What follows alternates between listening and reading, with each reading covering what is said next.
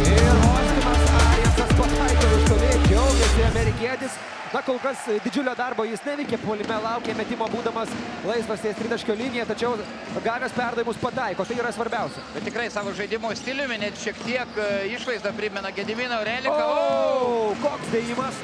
kaip la, dabar Labuckas suklydo gynybą, leido tą rolį. Na, tas spaudimas e, turi ir blogąją pusę.